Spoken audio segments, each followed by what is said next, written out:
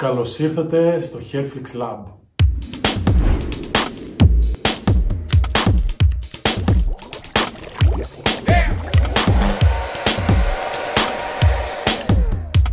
Είμαστε εδώ, στο χώρο μας, εδώ που θα προσπαθήσουμε αυτές τις ημέρες, λόγω της κατάστασης, να μην χάσουμε την επαφή μαζί σας, γιατί από όσο ξέρουμε, η μόδα και οι ιδέες δεν τελειώνουν ποτέ. Οπότε ξεκινάμε το Hairflix Lab για να δώσουμε όλο αυτό το συνέστημα σε αυτό το κομμάτι που ξεκινάμε σήμερα. Μισό λεπτό. Νομίζω σήμερα, έτσι πως ξύπνησα το πρωί και είδα λίγο μουντό καιρό κτλ. Ε, μου ήρθε η ιδέα λίγο φριζαριστά μαλλιά, λίγο σγουρά μαλλιά ε, και σκέφτηκα ότι μπορεί να δώσουμε ένα tip σήμερα ε, για τις γυναίκες που έχουν ε, σχετικά ίσια μαλλιά ή πολύ ελαφρώς σχηματιστά, έτσι ώστε να τα κάνουν σγουρά, φριζαριστά, να μεταφερθούμε λίγο πιο παλιά στη δεκαετία του 90 και να εμπνευστούμε κυρίως από γυναίκες ε, τότε, αλλά με τα σημερινά δεδομένα, οι οποίες έχουν τέτοια στυλ. Ε, καθώς κοιτούσα το, ένα περιοδικό το πρωί, το Vogue συγκεκριμένα, είδα τη Joan Smalls, αυτό το διάσημο top model, σε μια φωτογράφηση που έκανε, που έχει μαλλιά φριζαριστά, σγουρά. Βέβαια αυτή είναι το φυσικό της.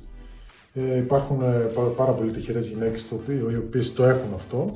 Εμείς θα πάμε για τις άλλες φίλες μας, οι οποίες θέλουν να δώσουν ένα τέτοιο, μια τέτοια υφή στα μαλλιά τους. Οπότε αυτή είναι η πηγή έμπνευση για σήμερα.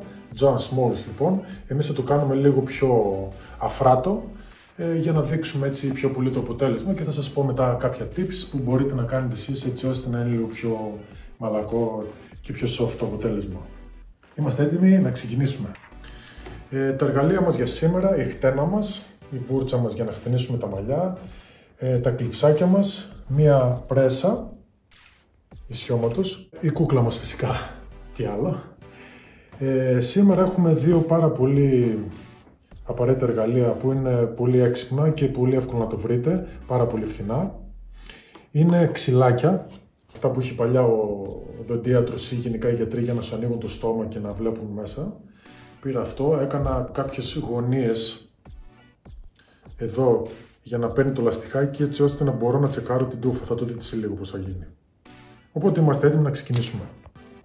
Ε, για την προετοιμασία μας, ε, λούζουμε κανονικά κτλ. Θα χρειαστούμε ε, ένα αφρό ε, κυρίως για όγκο στις ρίζες, να δώσουμε έτσι όγκο αρκετός στις ρίζες και ένα θερμοπροστατευτικό για τα μήκη και τις άκρες μας γιατί θα βάλουμε ε, το θερματικό οπότε θα θέλουμε να έχουμε προστασία στις, στα μαλλιά μας έτσι ώστε να μην ταλαιπωρηθούμε γιατί από ό,τι ξέρουμε το θερματικό είναι λίγο ταλαιπωρία για τα μαλλιά.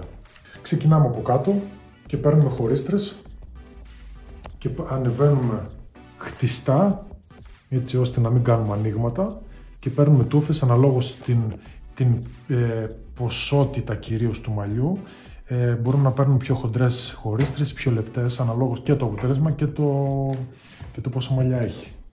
Οπότε ξεκινάμε, θα και κάποια μαλλιά για να σας τα δείξω. Παίρνουμε μια τέτοια χωρίστρα γιατί τα μαλλιά της κούκλας δεν έχουν πολύ ε, ποσότητα, οπότε θα είναι λίγο μεγαλύτερες οι χωρίστρες μας. Αν θέλουμε πιο έντονο αποτέλεσμα, ε, βάζουμε πιο μικρή τούφα και αυτό κάνουμε. Αυτό θα κάνουμε σε όλα τα μαλλιά. Το τυλίγουμε ουσιαστικά γύρω από το ξυλάκι και βάζουμε την πρέσα μας σε όσους βαθμούς θέλουμε αναλόγως την ποιότητα του μαλλιού μας έτσι ώστε να μην ταλαιπωρηθεί ε, θεωρητικά καλύτερα για μένα και πιο ποιοτικά είναι να χρησιμοποιούμε την πρέσα μας ε, στους 190 ε, με 200 βαθμούς. Αφήνουμε να ζεσταθεί λίγο. Και αφού ζεσταθεί πάμε και πατάμε την τούφα έτσι ώστε να δώσουμε το σχήμα και την υφή που θέλουμε πάνω στο ξυλάκι.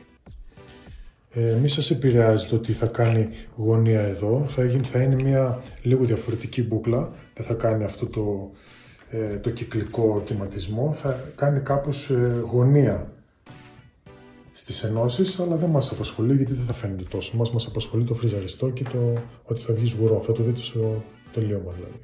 Προσπαθούμε να είναι κοντά στη ρίζα έτσι ώστε να πετύχουμε και τον έξτρα όγκο που θέλουμε για να μην χάσουμε όγκο από τη ρίζα.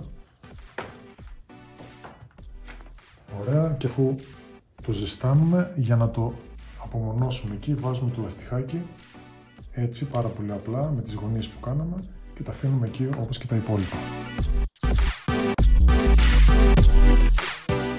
Ωραία, προχωράμε στο επόμενο, κόβουμε εκεί έτσι ώστε να είμαστε σχεδόν στη μέση της κάτω χωρίστρας για να βγει χτιστό το αποτέλεσμα. Αυτό θα κάνουμε μέχρι πάνω.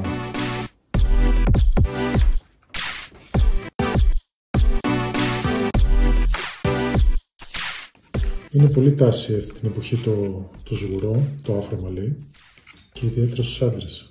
Μπορείτε να δείτε και το επεισόδιο Hairflix 4 που έχουμε κάνει περμανάντε σε άντρα. Δηλαδή έχει βγει πάρα πολύ ωραίο το αποτέλεσμα.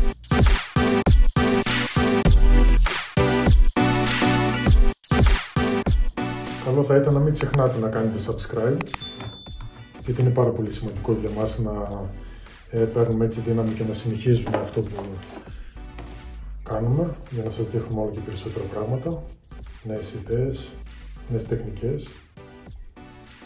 Ε, μπορείτε οτιδήποτε και αν θέλετε κι εσείς να μας ζητήσετε, οτιδήποτε θέλετε να δείτε. Ωραία, τελειώνουμε. Τελευταία μας τούφα.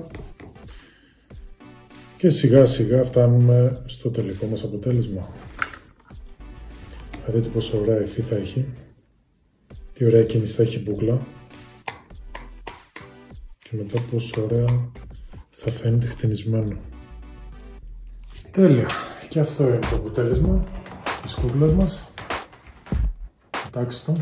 Και τώρα όσο θέλουμε το ανοίγουμε και το τεινάζουμε. Μπορούμε να το κρεπάρουμε και στη ρίζα έτσι ώστε να δώσουμε πιο afro style. Κοιτάξτε πόσο ωραίο afro αποτέλεσμα έχει. Τέλειο. Μπορούμε αν θέλουμε να τα ξεχωρίζουμε κιόλας να τα παίρνουμε μία-μία τούφα και να την ανοίγουμε και να το φριζάρουμε ακόμα περισσότερο και να δίνουμε πιο πολύ όγκο. Για το φινίρισμα μπορούμε να βάλουμε είτε προωθητική πούδρα για να δώσουμε και λίγο έτσι πιο dirty αποτέλεσμα. Ε, μπορούμε να βάλουμε λακ για φιξάρισμα σε αέρια μορφή, αν θέλουμε να είναι αυτό το αποτέλεσμα για λαμπερό, για ληστρό κτλ.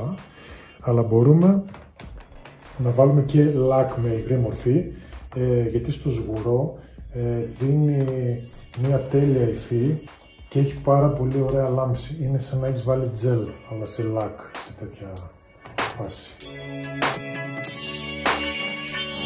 Τέλεια λοιπόν, αυτό είναι το αποτέλεσμά μας. Πολύ εύκολο, πολύ γρήγορο. Ε, ευχαριστώ πάρα πολύ. Ε, σημαντικό να κάνετε subscribe στο κανάλι μου. Share και like αν σας άρεσε το βίντεο. Κάποια comment άμα θέλετε να συζητήσουμε από κάτω. Ε, και τα ξαναλέμε στο επόμενο επεισόδιο. Φιλιά πολλά!